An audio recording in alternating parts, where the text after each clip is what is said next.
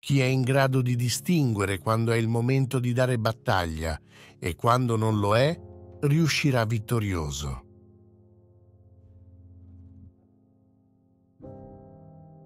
La guerra è di somma importanza per lo Stato.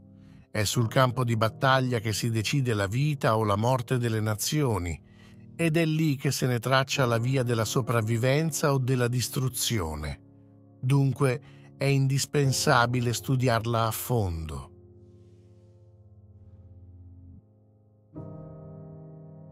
Fondamentale in tutte le guerre è lo stratagemma.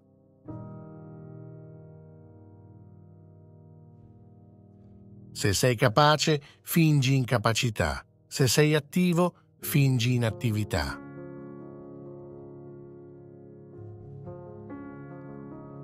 Se vuoi attaccare in un punto vicino, simula di dover partire per una lunga marcia. Se vuoi attaccare un punto lontano, simula di essere arrivato presso il tuo obiettivo.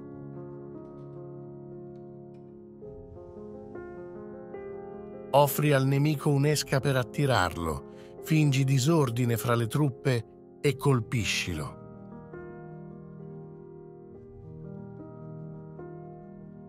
Quando vedi il nemico pronto, preparati contro di lui, ma evitalo dove è forte.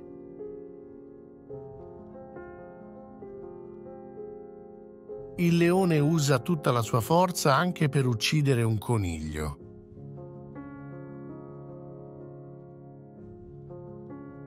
Quando si è in grado di attaccare si deve apparire incapaci.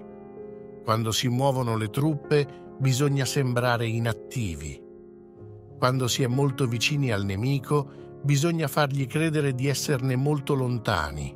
Quando si è lontani il nemico deve crederci vicini. Lancia esche per ingannare il nemico. Fingi disordine, ad esempio, e annientalo.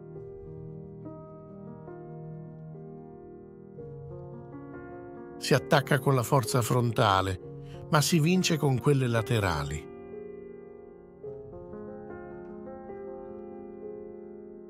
La velocità dell'acqua impetuosa giunge a sommuovere i massi. Questo è forza. La fulmineità del falco permette di colpire e dilaniare. Questo è tempismo. L'abile guerriero ha quindi una forza formidabile e agisce in tempi brevi. La forza è paragonabile a una balestra tesa e il tempismo al momento in cui si scocca il colpo.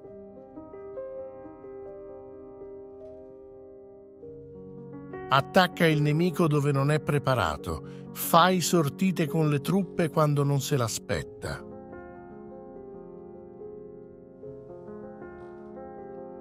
Solo valutando tutto esattamente si può vincere, con cattive valutazioni si perde. Quanto esigue sono le probabilità di vittoria di chi non fa alcun calcolo.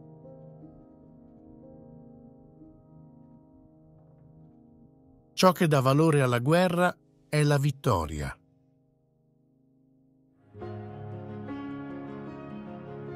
Ottenere 100 vittorie su 100 battaglie non è il massimo dell'abilità. Vincere il nemico senza bisogno di combattere, quello è il trionfo massimo.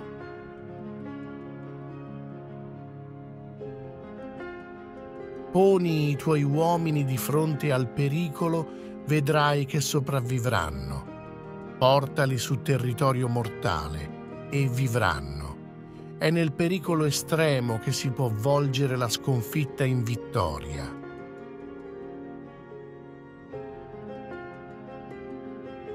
Chi è veramente esperto nell'arte della guerra sa vincere l'esercito nemico senza dare battaglia, prendere le sue città senza assieparle e rovesciarne lo Stato senza operazioni prolungate.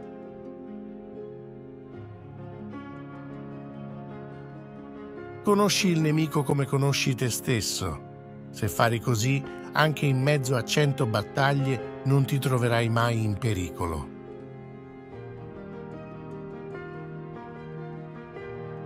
L'arte della guerra consiste nell'essere sempre al corrente della situazione del nemico in modo da poter decidere a ragion veduta sul combattimento.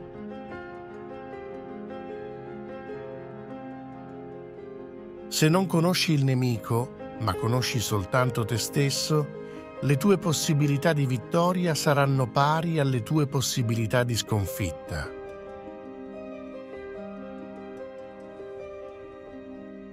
Se non conosci te stesso né conosci il tuo nemico, sii certo che ogni battaglia sarà per te fonte di pericolo gravissimo.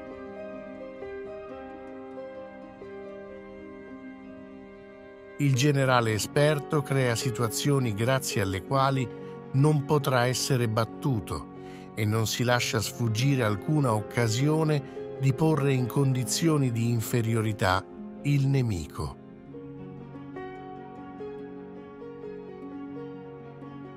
Il falco in picchiata spezza in due il corpo della preda perché colpisce con precisione.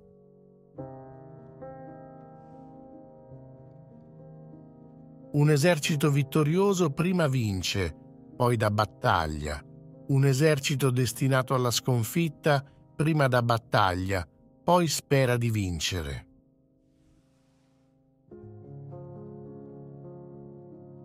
Si attacca con la forza frontale, ma si vince con quelle laterali.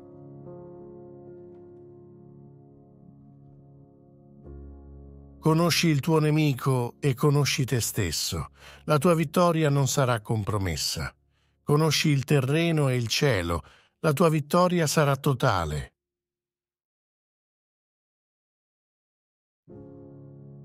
Il generale esperto non va ma fea in modo che sia il nemico a venire, non si lascia condurre da lui.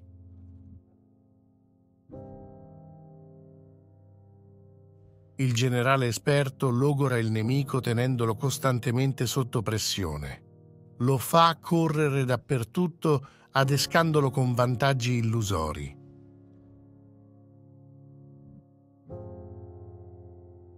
Per essere certo di conquistare la zona dove hai impegnato battaglia, attacca un punto che il nemico non difende. Per essere certo di tenere ciò che difendi, attestati dove il nemico non può attaccare.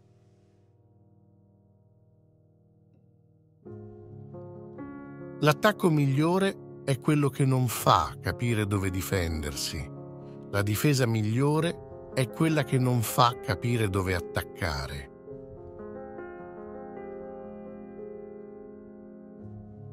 Cerca di anticipare i piani del nemico e individua i suoi punti forti e deboli. Potrai decidere quale strategia usare per avere successo e quale no.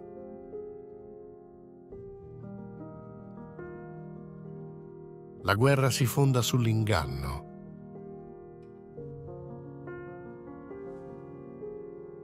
Non illuderti che il nemico possa non venire, ma tieniti sempre pronto ad affrontarlo. Non illuderti che il nemico non ti attacchi, ma fai piuttosto in modo di renderti inattaccabile. È una regola fondamentale dell'arte della guerra.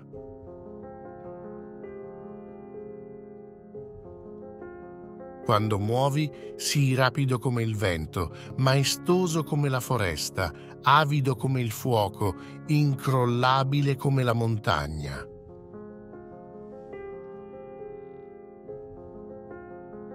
Al mattino presto il morale è più alto. Durante il giorno s'abbassa, a sera i pensieri volano a casa.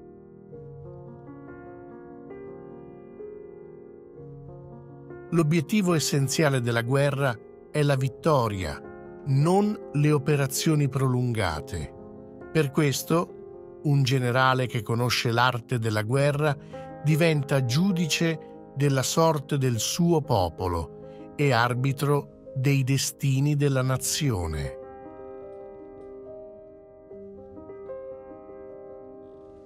Con ordine affronta il disordine, con calma l'irruenza.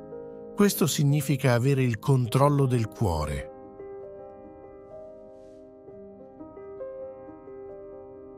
Il timore di un danno frena, l'azione logora.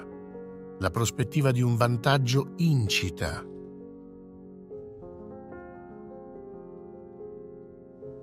L'invincibilità dipende soltanto da noi stessi. La vulnerabilità del nemico dipende soltanto da lui. Ne consegue che in una guerra un abile generale può rendersi invincibile, pur se non può indurre un nemico a diventare vulnerabile.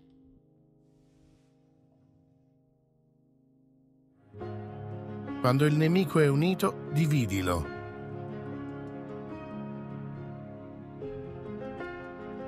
È nelle situazioni disperate che ufficiali e soldati dimenticano la paura e danno il meglio di sé. Senza vie di fuga, difendono il terreno coi denti. Impegnati a fondo, si battono a fondo. Senza alternative, lottano fino all'estremo.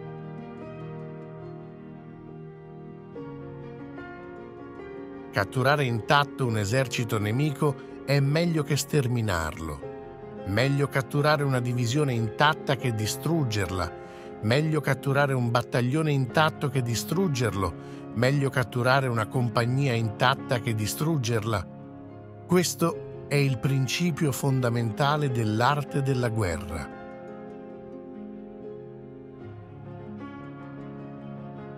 Chi ha creato un esercito compatto, con ufficiali e soldati che combattono uniti per un unico fine, sarà vittorioso.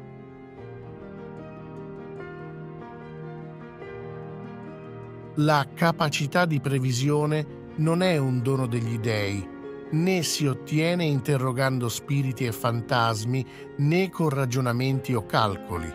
Si ottiene impiegando uomini che ci informano sulla situazione del nemico.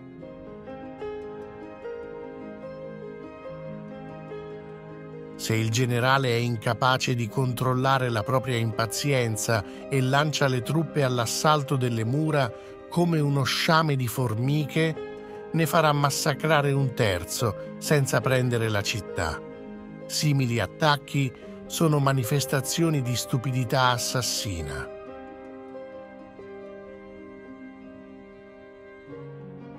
Quando sei inferiore in tutto, se puoi ritirati.